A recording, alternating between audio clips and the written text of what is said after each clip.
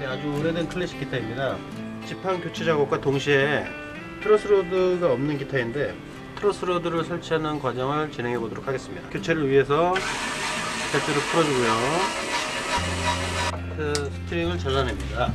기타의 너트를 떼어냅니다.